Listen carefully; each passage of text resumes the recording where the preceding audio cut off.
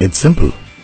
I insert my Jio SIM into my phone and it starts charging. JioJuice uses the wireless Jio network to create an electromagnetic field between the transmitter and the receiver. This enables a free transfer of energy through electromagnetic induction, turning true 4G data packets into refreshing energy packets. Like human beings got rid of their tail, time for the mobile phone.